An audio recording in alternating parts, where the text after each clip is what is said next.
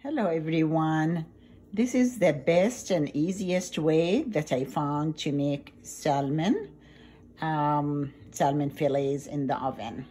So I, I rubbed the uh, fish with olive oil and some garlic and added salt to it that I'm gonna smash and add to it. So I have the garlic and salt smashed.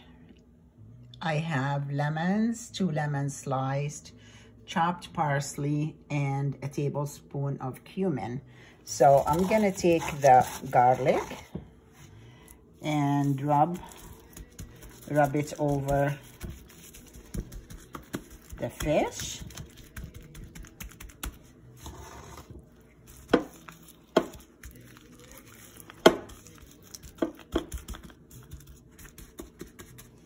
And then I'm gonna sprinkle the cumin over that and give it a rub. And then some parsley.